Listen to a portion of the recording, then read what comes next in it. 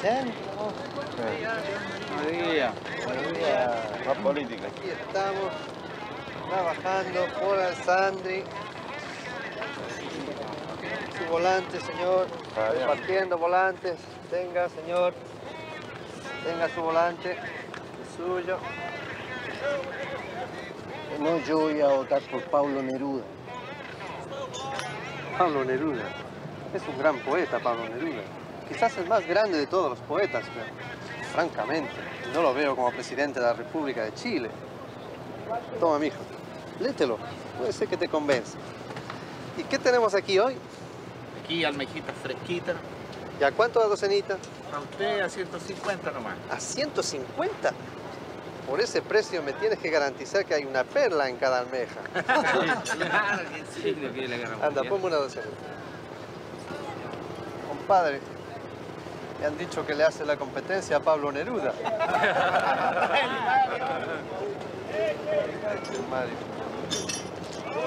Toma, mijo, para que escribas tus versos. Muchas gracias, señor está bonito. Bueno, hasta luego. Ahora tienes que aprender a escribir nomás.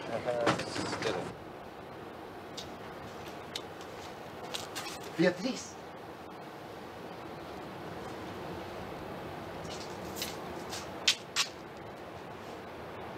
Buenos días.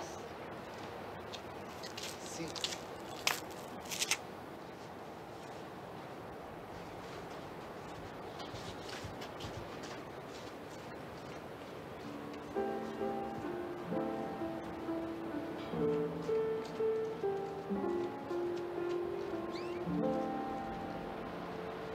Debo encender la vela.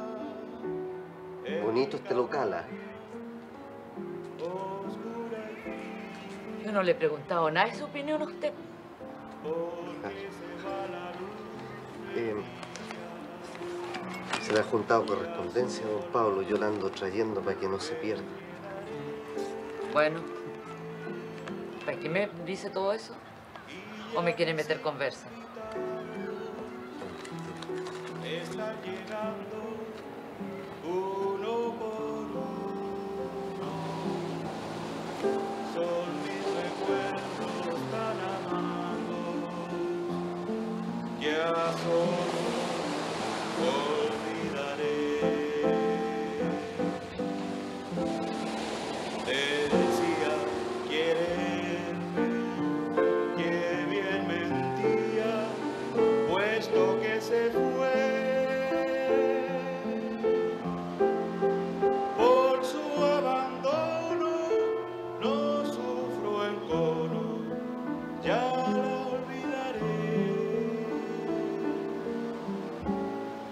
Mis tristes invitados,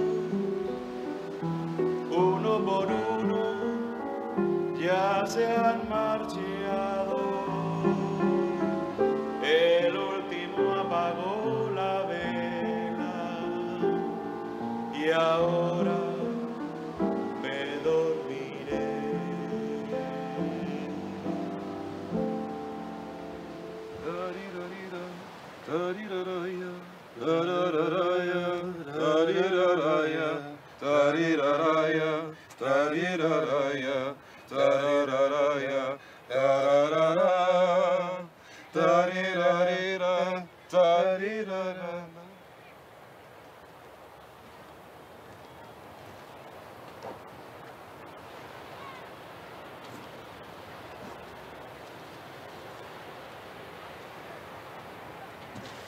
Vamos a cerrar.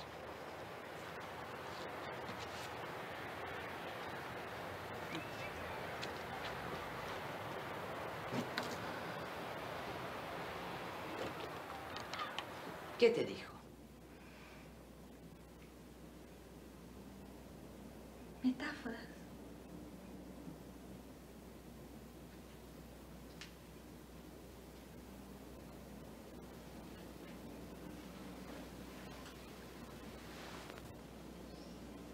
Pero mamá, ¿qué se quedó pensando?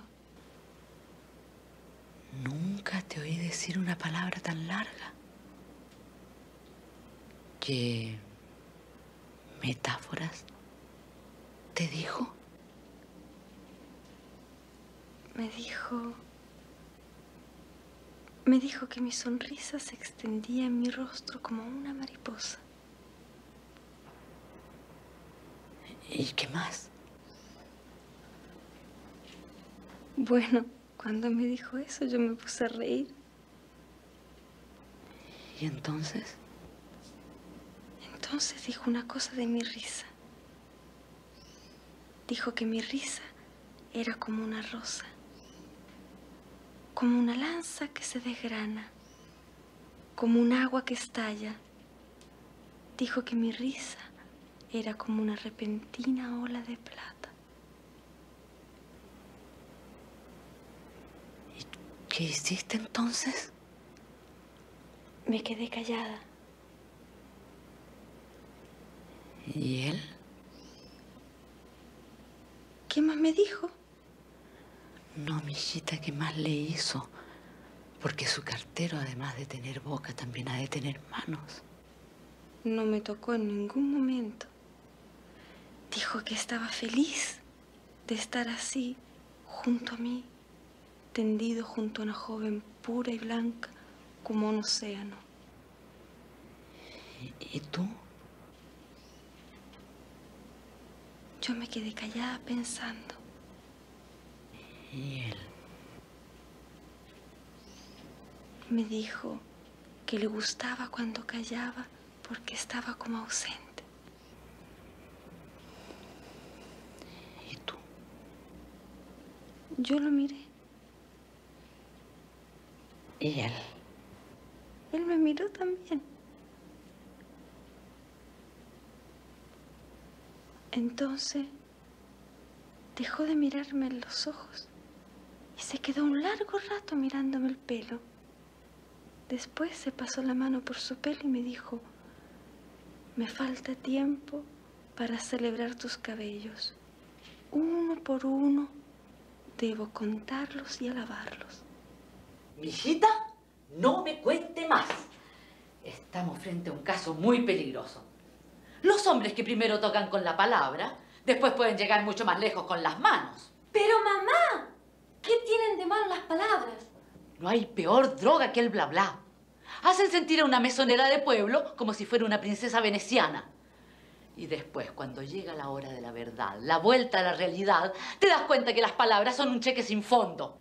Prefiero mil veces que un borracho te toque el culo en el bar a que te anden diciendo que una sonrisa tuya vuela más alto que una mariposa. Se extiende como una mariposa. ¡Qué vuelo que se extiende! Me da lo mismo. ¿Y sabes por qué? Porque detrás de las palabras no hay nada. Son luces de bengala que se deshacen en el aire. Las palabras que me ha dicho Mario no se han deshecho en el aire. Las sé de memoria y me gusta pensar en ellas cuando trabajo. Ok. Haces tu maleta y te vas por unos días donde tú tienes Santiago. Pero mamá, yo no quiero. Tu opinión no me interesa. Esto se ha puesto muy grave. ¿Qué tiene de grave que un cabro te hable? A todas las chiquillas les pasa. Primero, que se nota a la legua que tu cartero, las cosas que te dice, se las ha copiado a don Pablo. Nunca me dijo que fueran de él, pero me miraba y le salían así como pájaros de la boca. Como pájaros en la boca. Vaya haciendo su maletita tranquilita. ¿Sabes cómo se llama? Cuando alguien dice cosas de otro y no dice de quién son. Plagio. Y tu cartero puede ir a dar a la cárcel por andar diciéndote metáforas.